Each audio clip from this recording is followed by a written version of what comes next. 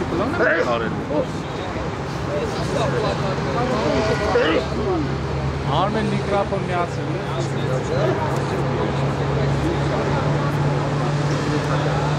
Հարգելի հարգելի հայրենակիցներ, ես ներկայացնում եմ Հայաստանի հականացիստական ճակատը։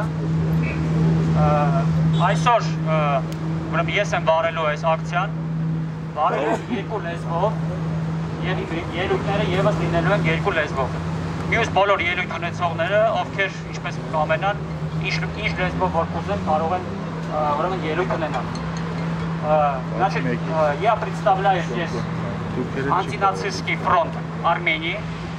Я буду вести сегодня сегодняшнюю акцию, э, а другие выступающие смогут выступить на том языке, на котором они э, захотят.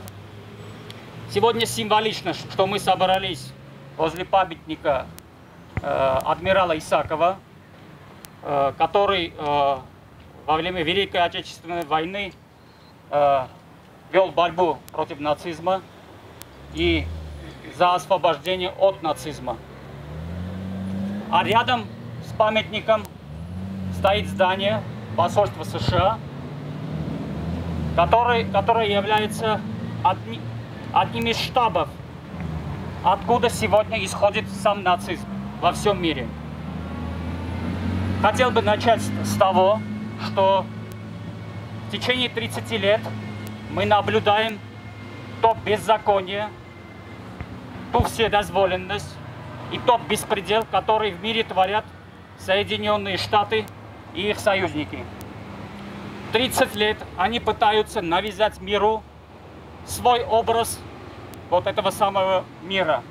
Они пытаются навязать всему миру свои так называемые ценности и так называемую американскую демократию, которую, которая 30 лет несет хаос и разрушение по всему миру.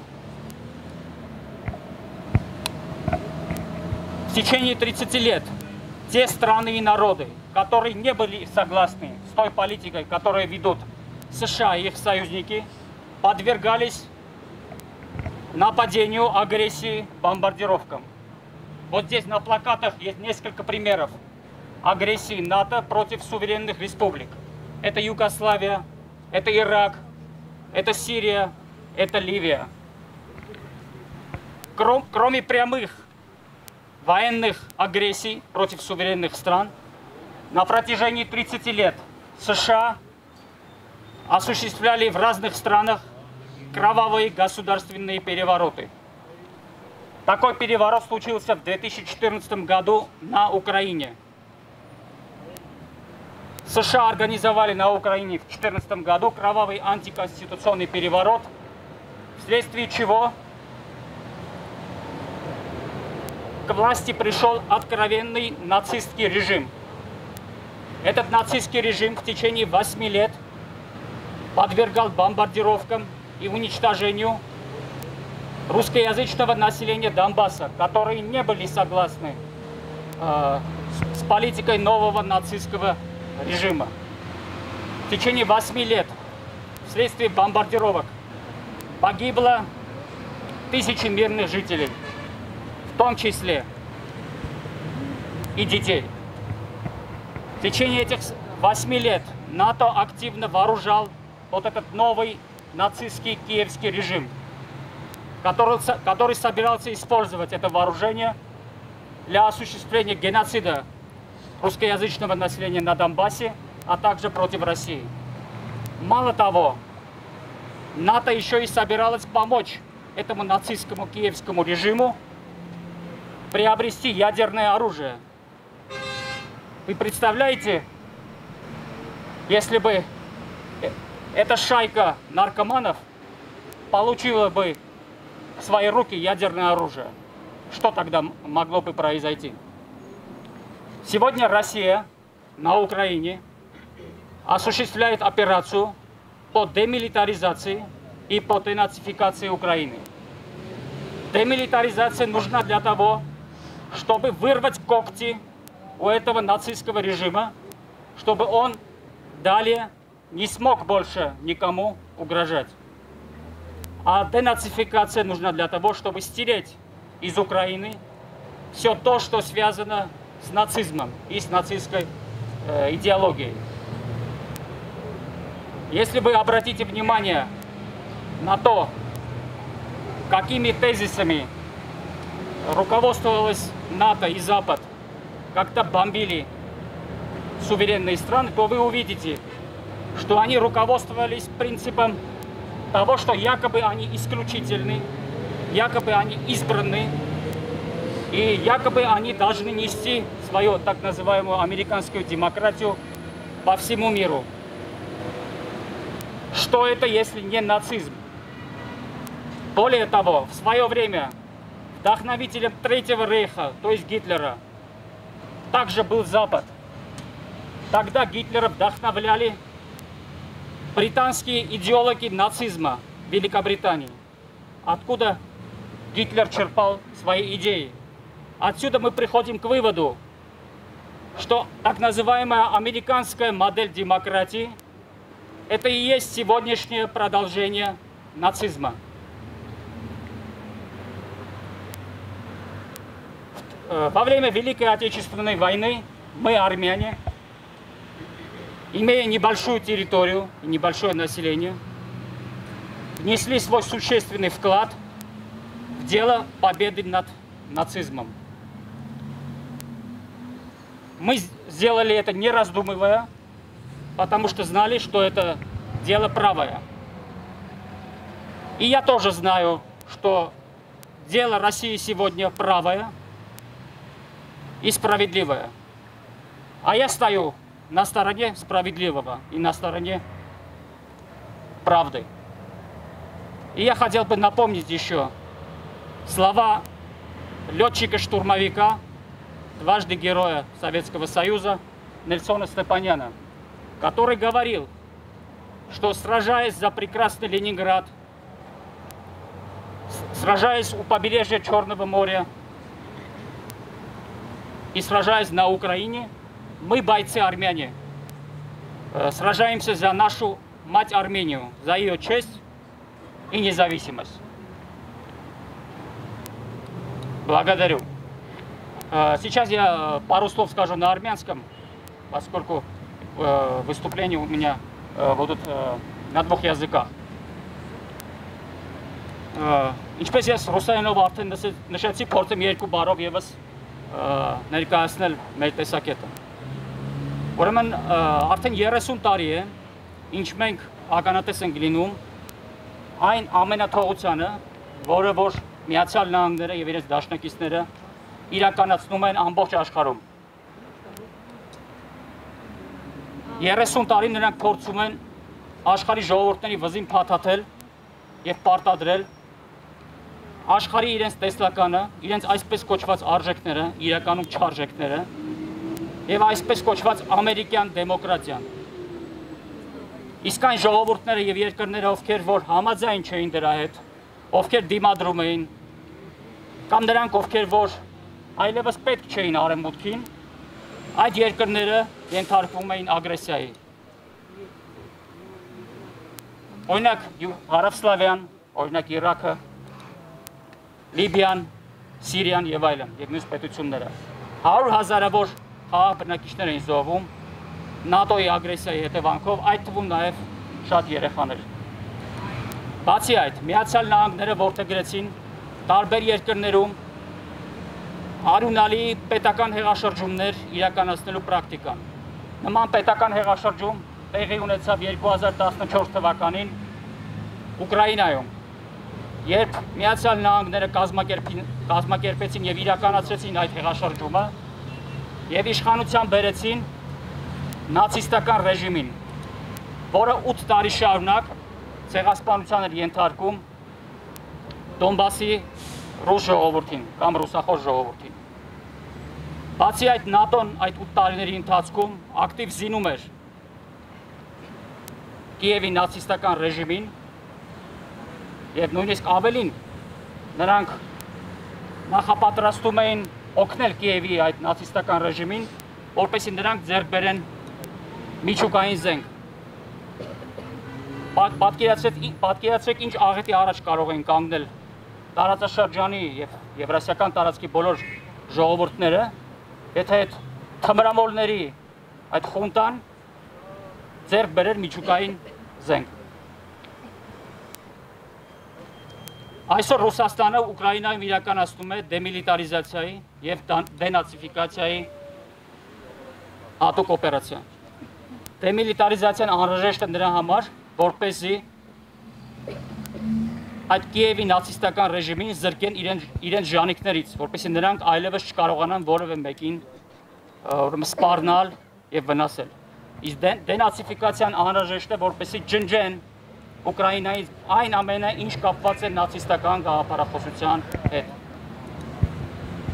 30 տարիների ընթացքում, երբ որ ՆԱՏՕ-ն ռմբակոծում էր սուվերեն պետություններին, նրանք դա անում էին ելնելով այն հանգամանքից, որ իբր նրանք ընտրյալ են, իբր նրանք բացառիկ են, իբր նրանց քարոզած դեմոկրատիան բացառիկ է եւ միակ ճշմարիտն է ովքեր համաձայն չեն դրա հետ ենթարկվում էին ագրեսիայի։ Բացի այդ հիշեցնեմ, որ ժամանակին երրորդ ռեխի, այսինքն Հիտլերի ոգեշնչողները դրանք մեծ Բրիտանիայի ուրեմն ռասիզմի իդեոլոգներն էին կամ գաղափարախոսները, որտեղից Հիտլերը Հիտլերը ուրեմն իր մտքերն էր կառուցում եւ իր իր գաղափարախոսությունը։ Այստեղից կարող են գալ հետեւյալ եզրակացությանը, որ այսօրվա ուրեմն ժողովրդավարության կամ դեմոկրատիայի ամերիկյան մոդելը դա հենց այսօրվա նացիզմի շարունակությունն է։ Եվ այս շենքը, որ մեր հետևում է, այդ նացիզմի աղբյուրներից մեկն է, այդ նացիզմի աղբյուրներից մեկի այսպես շտաբ կայանն է աշխարհում նմանատիպ այլ ուրեմն կառույցների մեջ։ Հայրենական մեծ պատերազմի ժամանակ մենք հայերս առանց երկմտելու գիտեինք թե որ կողմում է պետք կանգնել։ Գիտեինք որտեղ է ճշմարտությունը եւ որտեղ է արդարությունը։ Գիտեինք որ չկա ավելի արդար բան, քան որևէ պետությանը նացիզմից ազատագրելու ուրեմն գործընթացը։ Հետևաբար Ռուսաստանի գործը արդար է եւ ես եւ իմ ընկերները սատարելու ենք այդ ուրեմն արդար գործին։ Շնորհակալություն։ Ես հիմա կուզեմ խոսքը փոխանցել հեսաբանության ոլորտում միջազգային փորձագետ, մասնագետ Գրիգոր Գրիգորյանին, որը ավելի մանրամասն կներկայացնի Ուկրաինայում քիչ մի քանի օր առաջ ուրեմն ձեռք բերված այն փաստաթղթերի եւ այն փաստերի հետ, որոնք կապված են Միացյալ Նահանգների կողմից Ուկրաինայում կենսաբանական զենքի արտադրության հետ։ Խնդրեմ, պարոն Գրիգորյան։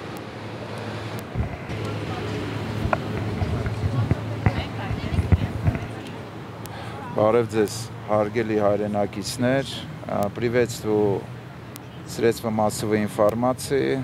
Ձեր թույլատվությամբ սկզբի А. Սխմած, հա, սենց։ Բարձր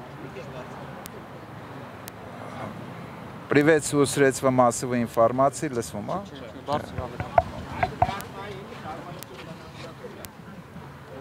Մեկ, մեկ, մեկ, մեկ։ Ներքև թե просто սխմա։ Պրոստը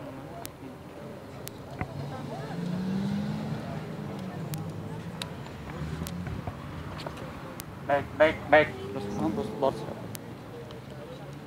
Լսվում Լսվում է սենց։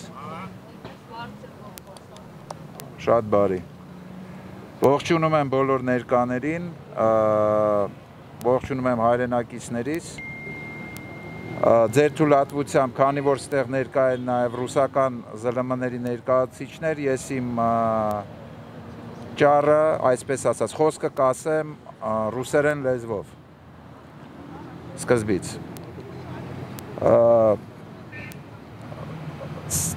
Сегодня мы собрались здесь для того, чтобы выразить свое несогласие э, с э, политикой, которая проводится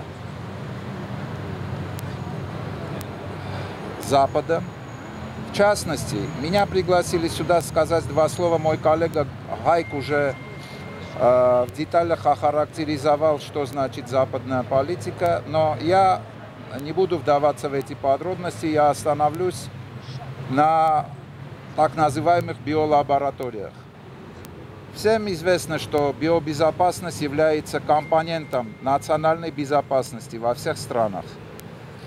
После развала Советского Союза на территории бывших советских республик осталось огромное наследие, созданное Советским Союзом. Это была и сеть противоэпидемических станций, это была и сеть ветеринарных лабораторий, а, это были коллекции патогенов, уникальные коллекции патогенов, собранные за десятилетия советской власти.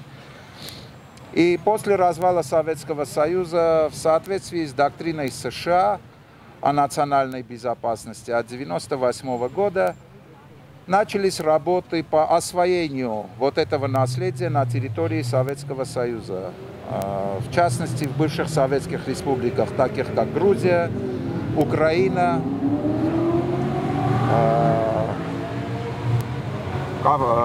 среднеазиатские республики частично, и, конечно, Армения и Азербайджан.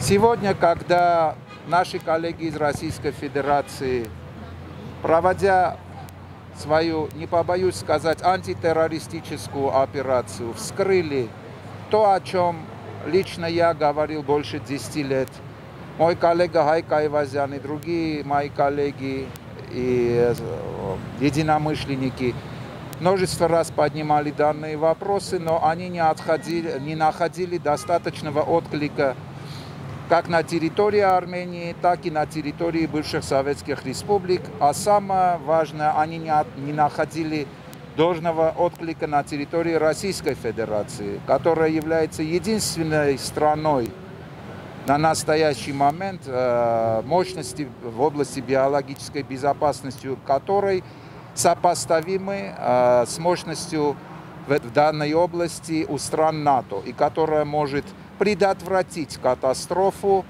в области биологической безопасности.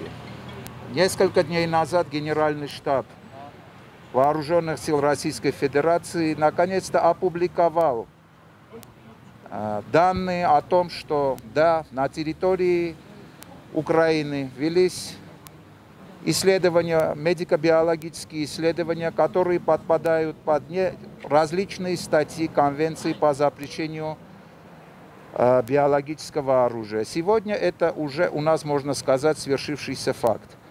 Я хочу сказать, что биологическое оружие тем и опасно, что в отличие от химического и ядерного оружия, очень трудно выявить, кто его применил и применено ли оно вообще, потому что болезни, они свободно циркулируют в природе. И очень трудно доказать, было ли применено биологическое оружие вообще.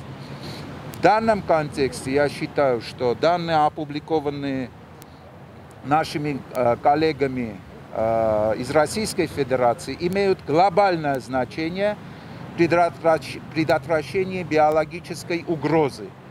Они имеют глобальное значение, поскольку по имеющимся у нас данным, по доступным данным, а также э, в соответствии с заявлениями Китайской Народной Республики, на территории в, в мире функционирует более 300 лабораторий, которые э, занимаются подобными исследованиями. Из этих 300 лабораторий как минимум 50 находятся на территории бывшего Советского Союза. А это значит, а это значит, что мы подвергаемся той же угрозе, которая была выявлена на территории Украины в ходе контртеррористической операции по зачистке Украины от нацизма. А, в этой связи я хочу сказать, что нам необходимо, просто необходимо предпринять все меры для того, чтобы не допустить дальнейшей работы подрывательской работы, которая ведется в обход конвенции по запрещению биологического оружия. В мае прошлого года состоялась первая российско-армянская конференция, посвященная биологическим угрозам. По результатам этой конференции было, было сформировано письмо, которое было направлено в ООН, ВОЗ, Международное эпизоотическое бюро, ФАО, НАТО, ОДКБ. В этом письме мы требовали обратить внимание на работы, которые ведутся на территории бывших советских республик, провести инспекцию и взять их под контроль.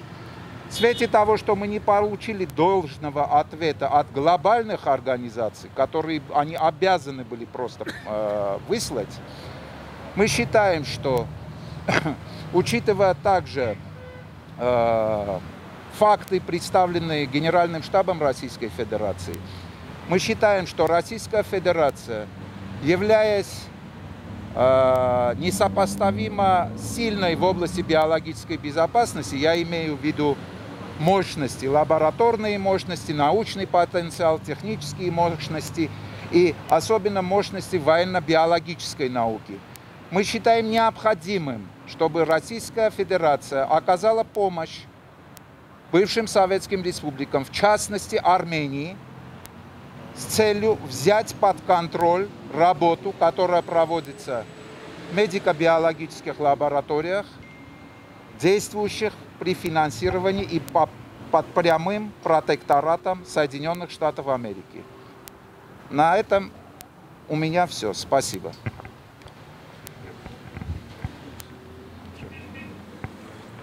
Շնորհակալություն։ ստեղծել շնորհիվ։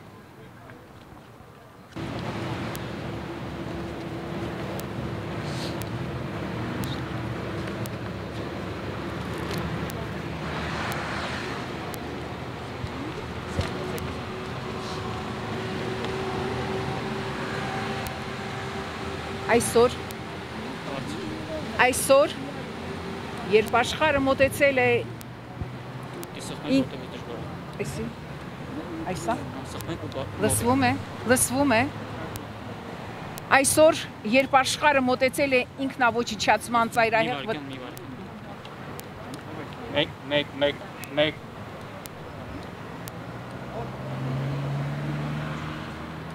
Մեկ, մեկ, մեկ։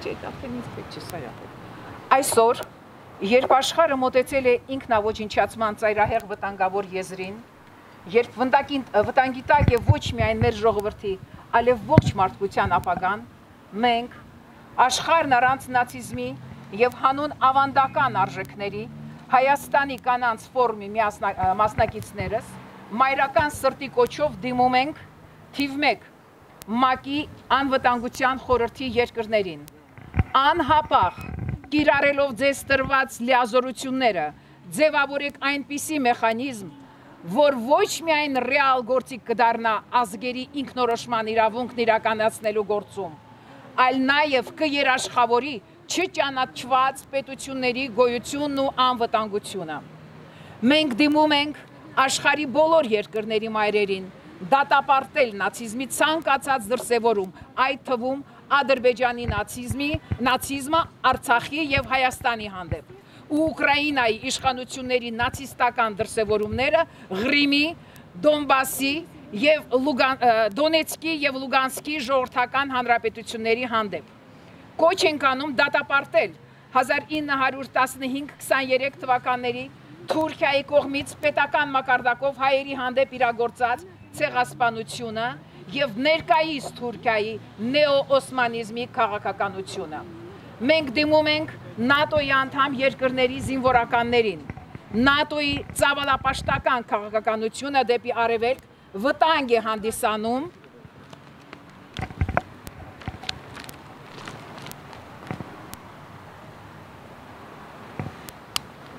վտանգ է հանդիսանում ոչ միայն մեր երեխաների եւ ընտանիքների համար, այլև ձեր։ Արևելքի եւ արևմուտքի բախման արդյունքում դժբախտությունը մտնելու է ոչ թե ձեր ղեկավարների, այլ ձեր եւ ձեր մտերիմների տները։ Բոլոր սովորական մարդիկ Չինաստանից մինչև Բրազիլիա, Ռուսաստանից մինչև Ամերիկա ուզում են մեկ բան՝ խաղաղություն։ Անհրաժեշտ է Ռուսաստանի, Չինաստանի եւ այլ պետությունների հետ համատեղ ձևավորել համաշխարային նոր կարգեր, որոնք կապահովեն ազատ եւ անվտանգ ապրելու իրավունք աշխարի բոլոր ժողովրդների համար։ Թիվ 4.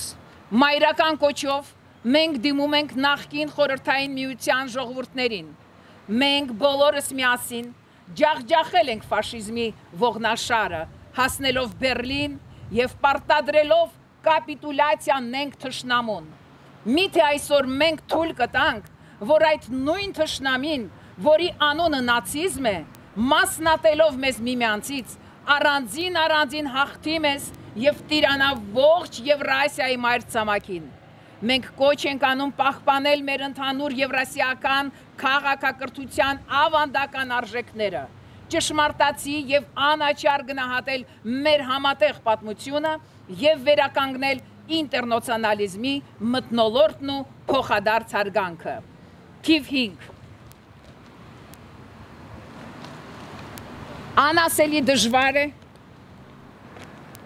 Անասելի դժվար է միայն խոսքով դադարեցնել արյունահեղությունը բայց մենք արյան գինն իմացող հայերս պարտավոր ենք բարձրացնել մեր ձայնը եւ դիմել Ուկրաինայի մայրերին սիրելի մայրեր յետ պահեք եւ թույլ մի տվեք ձեր զավակներին մասնակցել տարածաշրջանից դուրս գտնվող ուժերի կողմից հրահրած այդ պատերազմին։ Նրանք կզոհվեն ոչ թե ձեր հայրենիքի, այլ իշխանությունը զավթած եւ ձեր երկիրը հակառուսական պլացդարմի վերածած մի խումբ անձանց համար կզոհվեն պատերազմի ռահվիրանների հարստանալու համար, որոնց միակ նպատակը սեփական իշխանավարման երկարաձգումն է։ Թիվ 6.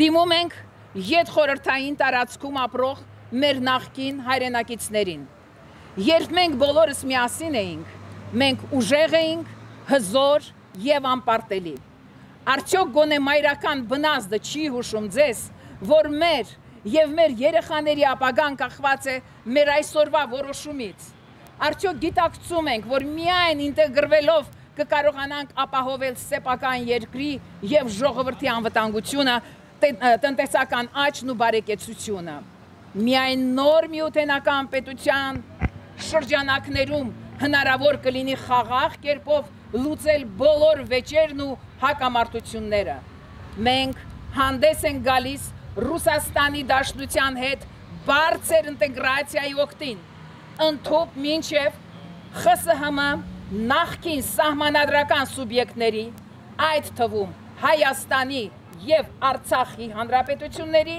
ներգրավումը միութենական պետության մեջ։ Մի փոքր դեռ ժամանակ ունենք։ Եկեք բոլորս միասին օգտագործենք այն մեր երեխաների խաղաղ ապագան ապահովելու համար։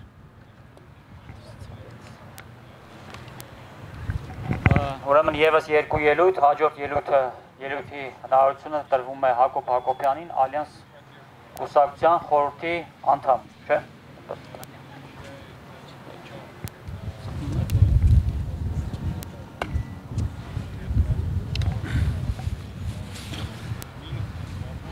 Дорогие друзья, значит, э, еще в прошлом веке наши деды, наши отцы отдали свою жизнь, чтобы уничтожить эту страшную заразу под названием фашизм. В принципе, и тогда она родилась не без помощи англосаксов. Сегодня они опять подняли голову, и я уверен, что это не война ради территории, это не война ради золота и нефти. Фашисты воюют сегодня, чтобы уничтожить славянскую цивилизацию, чтобы уничтожить православие, чтобы уничтожить все то, что дорогое для нас, наши семейные ценности, наш язык, наша культура, э, наши традиции. Э, это их цель, я уверен в этом. И поэтому сегодня Россия, россияне, российский солдат, российский генерал воюют, чтобы не дать им достичь своих целей. Воюют против всего этого. И мы обязаны, если даже не находимся рядом с ними, поднять голос, всему миру объявить, что они не одни, что мы рядом с ними, что мы стоим и будем до конца стоять с нашими русскими братьями, чтобы искоренить это зло, чтобы не дать нацизму и фашизму распространяться. Никакой разницы нет. В 15 году, 1915 году турки, никакой разницы, они тоже фашисты. Они развиваются и э, вместе с огромным тандемом с англосаксами стараются достичь своих целей. Наша борьба должна распространиться по всем домам, по всем семьям. Все должны понять, что сидеть в стороне, не участвуя, не поднимать свой голос, это обречь наших детей на новые войны, на новые уничтожения. Я призываю всех, кто хоть чуть-чуть думает собственными мозгами, всех, кому дороги наши семейные ценности, кому дорога семья, понятие мама, папа, они родители номер один, два или восемь. Все, которые э, за Божий закон, все, которые за то, что наши народы, славянские народы, наши древние народы родились для того, чтобы творить, а не уничтожать.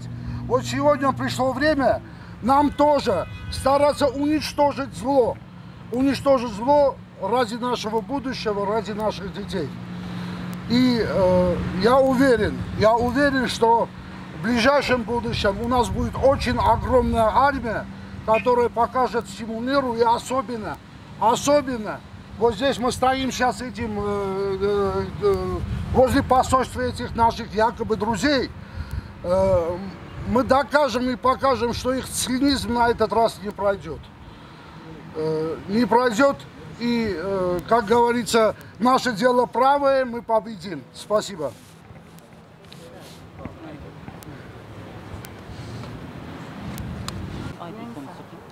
Այսպես լսվում է, բարև ձեզ, ես Նատալյան եմ, ռեֆորմիստների կուսակցությունից, քանի որ այստեղ արդեն հնչեց ռուսերեն եւ հայերեն խոսքը, ես կխոսեմ անգլերեն, ըստ մեր մոտ ձևավորված ավանդույթի։ I would like to address to all the ladies and gentlemen who sit in the building behind me and show them the poster we're holding. It says here denazification. I'm wondering how did it happen that after the Second World War, when the entire progressive humanity condemned and rejected the Nazi regime of Hitler, suddenly, some 70 years later, uh, Nazism became a tool for so-called Western democracy to torture and oppress Russian-speaking people in Ukraine, in Georgia, and basically all over the world. I'm wondering, and I would like you to start wondering with me, answer this question, how did it happen? How did it happen that the so-called enlightened Western democracy is deliberately neglecting the fact of mass murders in Artsakh during 44-day war when phosphorus shells were dropping down on our heads, on heads of our soldiers, when for eight years Russian-speaking minority was being oppressed by Ukrainian Nazis and nobody seemed to notice. But now suddenly the uh, Ukrainian democracy becomes an agenda and everybody starts speaking that Russia is not in its right to fight for Russian-speaking minority. All these questions need to be answered because honestly, we all come to realize that there is a global democracy and there is Western democracy, which are apparently two different things. Because in Western democracy, uh, people who haven't dealt with their past yet, with slavery, racism, and honestly speaking, ugly attitude towards, for example, Native Americans, and all these people are now trying to teach us democracy. No, it doesn't work that way. Democracy has to be a reciprocal process, and all people are equal. Not that some are more equal than others. No, we reject that principle. We want you to raise your voices not only for Ukrainian President Zelensky, but also for Armenian prisoners of war who are being held by terrorist state of Azerbaijan. We want you to raise your voices equally for all the oppressed all over the world and not to choose those who seem to be your allies and who are not. If we're talking about democracy and equality, it has to be applied equally to everyone. Just think about it. And I'm sure that if we all start thinking about these burning issues, we will finally be able to build real peace. Thank you.